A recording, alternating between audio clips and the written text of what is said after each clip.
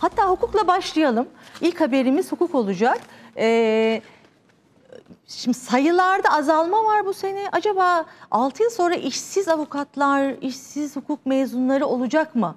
Bu sorunun cevabını birazdan konuşacağız. Haberimizi izleyelim ardından sorularla devam edelim. Hukukla teknoloji nasıl yan yana gelebilir? Cevabı basit. Yapay zekayla.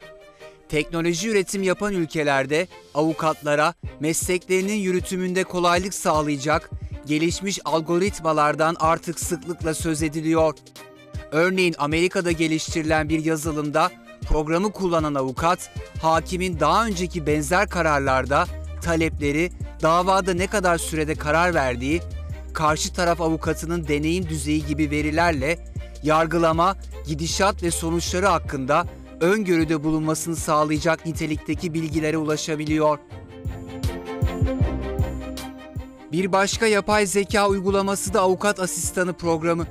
Yazılımı geliştiren girişim firmasına göre herhangi bir meslektaşınızla konuşuyormuşçasına soru sorduğunuzda sistem yasal metinleri, içtihatları ve diğer ikincil hukuksal kaynakları tarayarak anlamlı olabilecek sonuçları çıkarıyor. Üstelik de bunu dakikalar hatta saniyeler içerisinde yapabiliyor. Yapay zeka konusunda dünyanın önde gelen ülkelerinden Çin'de ise yapay zekalı yargıçlar dönemi başladı bile. Yapay zeka teknolojisini kullanan sistem dava başvurularının işleme konulmasında gerçek hakimlere yardımcı olmayı amaçlıyor. Başkent Pekin'de internet mahkemesine bağlı çevrim içi dava hizmeti merkezinde davaların açılması ve işleme konulması gibi sıradan hukuksal işlemlerde kararlara yardımcı olmak için yapay zeka teknolojisini kullanan bir yazılım modülü kullanılmaya başlandı. Sistem, gerçek hakimlerin davalara daha fazla odaklanmalarına imkan sağlamayı amaçlıyor. Türkiye'de 5-6 yıl öncesine kadar 72 bin olan avukat sayısı bugün 120 bini geçti.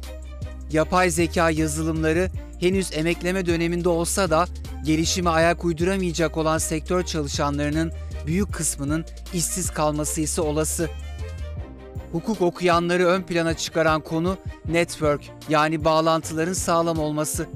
En az bir yabancı dil ve de mesleğe girilen yıldan başlayarak bir ya da birkaç spesifik konuda kendisini geliştirmiş olması gerekecek.